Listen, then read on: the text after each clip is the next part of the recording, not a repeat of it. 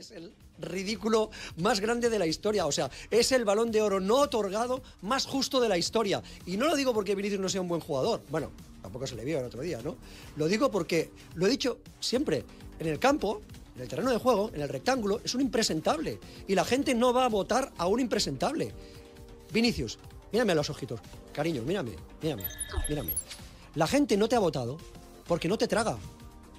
Si tú aparte de ser un buen futbolista, fueras una persona maja, cordial, no fueras un provocador, no fueras un chulo, si tú fueras de otra manera, mírame a los ojitos, hoy serías balón de oro. Pero no lo eres porque al final la vida es justa. Porque al final nadie va a votar a un provocador. Nadie va a votar a una persona que en el campo es un absoluto impresentable. Que insulta, que agrede, que chulea. Yo dos champions, tú cero. El otro día Gaby, a un niño que te pintó la cara con el 0-4. No te han dado el balón de oro por eso. Porque lo primero que tienes que hacer es arreglarte el cerebro. Irte a un psiquiatra que te arreglen y luego seguir jugando bien al fútbol. Y a lo mejor así lo ganarás. Pero nadie va a votar a un tío como tú. Porque caes como el culo.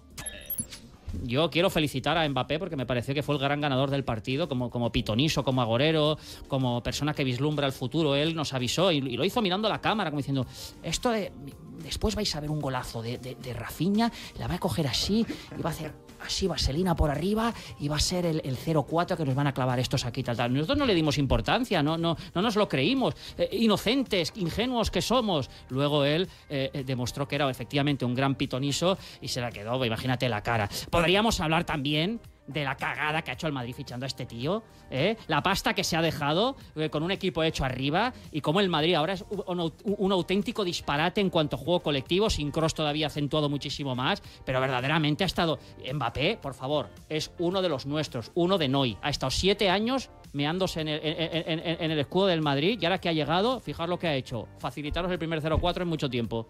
Y termina de rematar la película de los tres chiflados David Bernabeu con Creo que basta claro, así lo veo.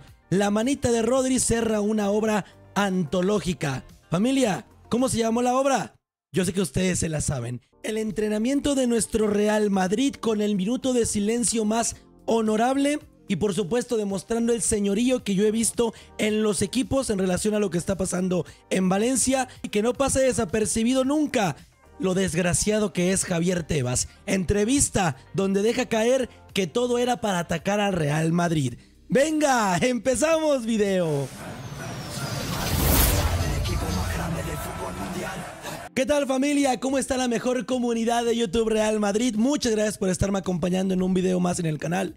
Si estabas comiendo, si estabas desayunando, si estaban, si estaban cenando, discúlpenme por ponerle la cara de este despreciable, racista, xenófobo, manipulador, por supuesto, e incitador al odio, entre muchas otras cosas. Eh, una persona, un pseudo periodista, como yo lo denomino, que lo único que hace es poner por el suelo lo que es una profesión que en teoría tendría que informar, tendría que descubrir y por supuesto eh, desvelar la verdad al mundo y sobre todo eso, hablar, hablar de manera objetiva, lo cual este personaje no tiene.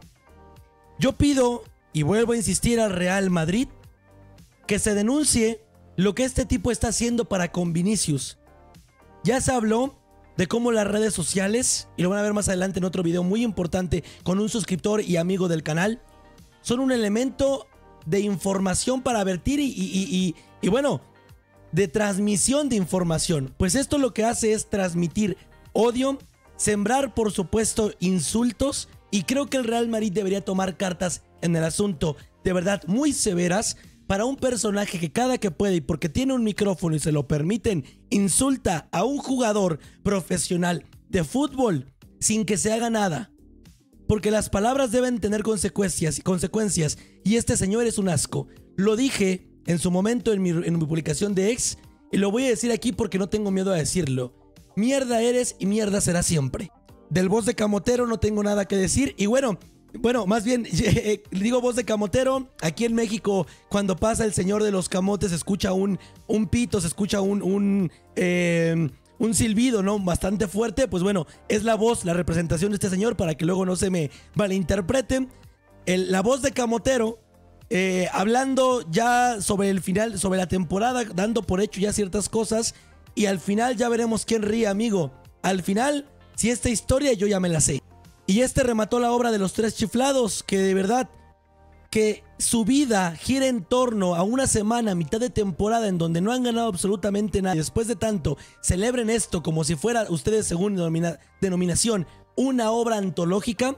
Habla de lo patética que debe de ser su existencia como culés, como aficionados de un club de fútbol que giran en relación a otro y a las desgracias que le deben o le están pasando a otro.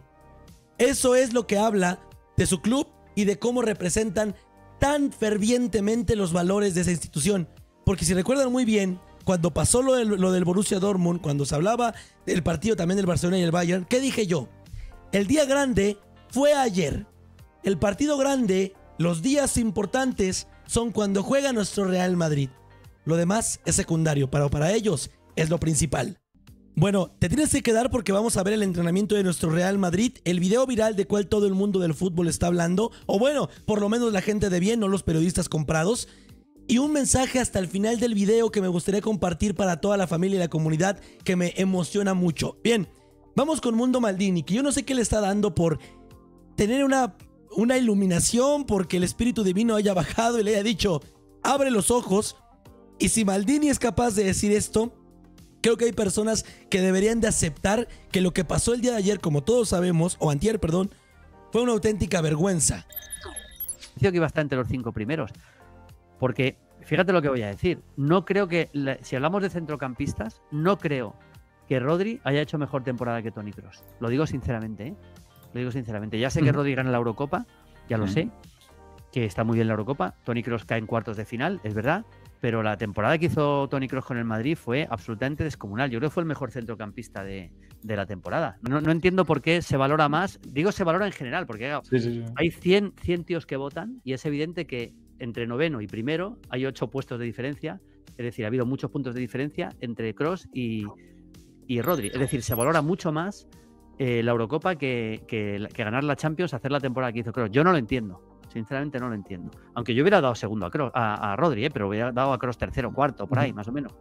Pues eh, miren, lo cierto es que lamentablemente para él muchos de los argumentos también caen al piso cuando se habla de la figura de Lionel Messi, lo que se habla de que se hablaba de él en los mundiales y demás, ¿no?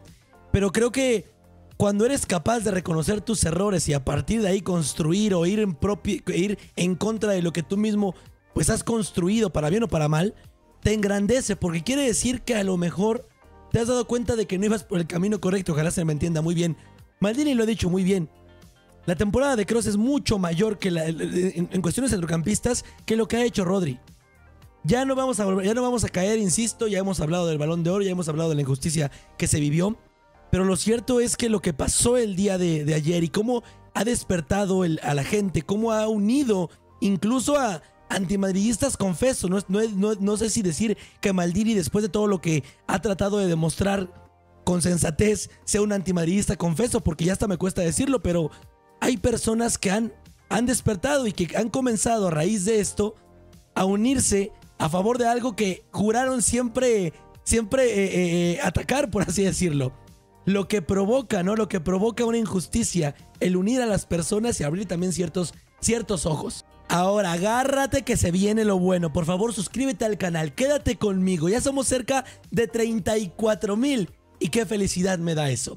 Bien, el Real Madrid completa un nuevo entrenamiento en nuestro equipo. Se mide el sábado al Valencia en Mestalla. Cuidadito que hasta puede ser pospuesto. Con foto de Hendrik y Luka Modric, el equipo completó en la ciudad Real Madrid un nuevo entrenamiento para continuar preparando el partido contra el Valencia de la deudécima jornada de la liga, perdón, duodécima, que se disputará en Mestalla. La sesión comenzó con el trabajo en el gimnasio. Ya sobre el césped los jugadores realizaron ejercicios de posesión, control y presión. Después llevaron a cabo una serie de partidos en, en dimensiones reducidas y finalizaron con disparos a portería. Rudiger y Rodrigo trabajaron en solitario sobre el césped, mientras Calaba, Courtois, Carvajal siguen con sus respectivos eh, procesos de recuperación. Ya saben que aquí es una tradición ver primero el video y después con las imágenes dar la reflexión del día. Así es que vamos con el entrenamiento. El bueno de Jude Bellingham, gran disparo en este campo de dimensiones reducidas. Mbappé, Henry, por Dios, cómo carga Fran García. Buena noticia dentro de todo. Brahim Díaz entrena con normalidad. Bien ahí Fede Valverde, disparito a la espalda de Camavenga, entrenamiento en el interior, balón de oro, balón de oro, porque para mí eres de oro, Vini. Ahí está el bueno de, de, de Kylian Mbappé, entrenamiento en el gimnasio. Físico, por supuesto, el método Pintus. Recuerden que el método Pintus es una larga carrera, es un maratón, no es una carrera de sprint. Ahí bien con la finalización. Otro entrenamiento, Arda Guller. Vamos a ver a partir de ahora, ¿no? Los minutos que puede llegar a tener la joven Perla Turca del Real Madrid. Hendrik, que se le ve enchufado, tendrán sus oportunidades, confianza plena en la gestión. Bien ahí Vinicius, se le ve motivado, al igual que Mbappé, a partir de ahora a destrozar, a destrozar, por favor, y confío en ellos, en los campos. Gran disparo de Fede Valverde, Arda Guller, control, pasecito, Brahim y definición del futbolista español marroquí. En estos días, yo les he puesto, además de tratar de contestar todos los comentarios, y eso, de verdad, gracias por esperarme y tener una paciencia eh, como un templo, ¿no? Para ello. Yo les he comenzado a poner unas frases al final de cada comentario que van sobre la unión, sobre el apoyo, sobre la fuerza que hay que tener como madridistas y el estar ahora más que nunca con el club. Pues eso es lo que quiero transmitir con estas imágenes y sobre todo con este entrenamiento. El Real Madrid al trabajo. Las cosas extracancha ahí se van a quedar y el equipo sabe lo que tiene que hacer a partir de ahora en el terreno de juego. Callar bocas, demostrar, pero no por pensar en los demás, que la opinión no determine lo que tú tienes que hacer por ti, sino por eso precisamente, por el crecimiento, por el honor, por por supuesto lo que tienen que representar y ser para esta institución, el Real Madrid como tal, y los jugadores que ahora en adelante den todo de sí para poner en nombre el alto, como siempre lo han hecho, pero ahora que más que nunca, de lo que es el Real Madrid. Vamos todos a una, vamos todos juntos, ahora más que nunca, unidos como siempre y hasta el final vamos real. Porque yo lo dije, el honor, el honor no es ir a una gala completamente amañada donde se querían burlar de ti, donde afortunadamente alguien informó que era una encerrona para el Real Madrid. El honor no es, no es ir a recibir un galardón de latón, como ya dije, bañado de oro. El honor, el honor no es eso, el honor es esto. Minuto de silencio en la ciudad Real Madrid se guardó antes del entrenamiento en memoria de las personas fallecidas por la temporada. Foto de nuestro equipo, ahí tenemos a toda la plantilla, cabeza gacha y lamentando por supuesto las vidas que se han perdido en lo que ha pasado con, con, eh, con las precipitaciones y las lluvias allá en Valencia. El video lo tienes aquí.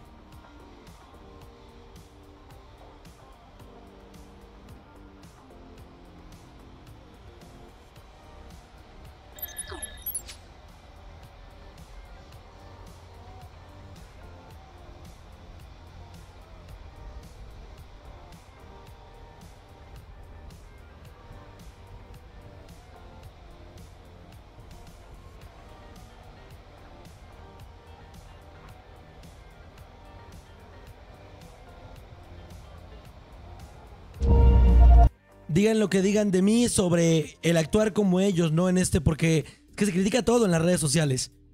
Pero yo siento el Real Madrid, yo vivo con el Real Madrid, yo vivo este equipo, yo siento el madridismo y creo que es un ejercicio, como hizo nuestro equipo, de, de, de, humildad, de señorío y por supuesto de juntarse, ¿no? De hacerse más fuertes juntos ante esta adversidad y demostrar para todos aquellos que lamentablemente están pasando por estos momentos que ahora más que nunca el Real Madrid demuestra y está, y está para con ellos. Porque estos son los valores que me enseña el club, porque estos son los valores que demuestra el Real Madrid Club de Fútbol. ¿Cómo hubiera querido cerrar lo del, lo del el video con, con, con, con, lo que hizo nuestro Real Madrid? No, pero hay que hablar de este impresentable que después de todo lo que ha pasado pasa desapercibido y no hay que dejarlo. Tebas, el victimismo del Real Madrid, es exagerado. El presidente de la liga critica la injusticia del club blanco, la ausencia, perdón, en la gala del balón de oro. Soy, soy hincha del Madrid. Los valores importantes de este club son de ser un caballero y dar la mano cuando se pierde. Creo que hace tiempo que el Real Madrid perdió esa mentalidad. Tendría que haber sido eh, tendría que haber ido a la ceremonia y no cuestionar el sistema de France Football, que es transparente, con 100 periodistas votados. El, el victimismo del Real Madrid no tiene sentido y es exagerado. No sé, no sé hacia dónde van. Esta falta de elegancia también la vivimos en España. Soy madridista, dice.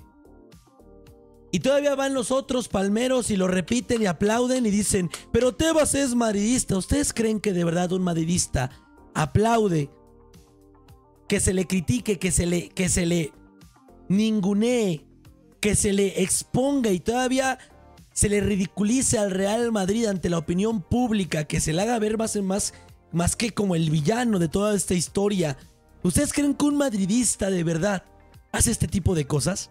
Este señor no es madridista, es un paripé montado para justificar todo lo que en algún momento se ha tenido en una batalla contra la liga y su, y su eh, presidencia corrupta.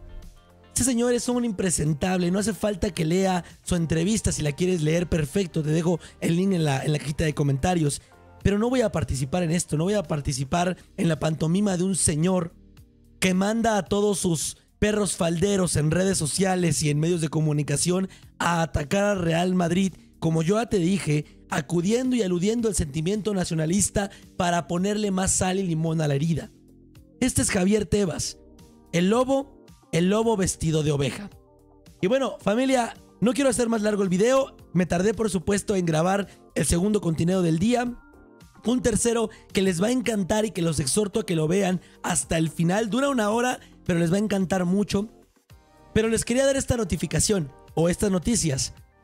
Cámara nueva, eh, Stream Deck nuevo, bueno, no, stream, Stream Deck nuevo, pero, pero aparatito nuevo.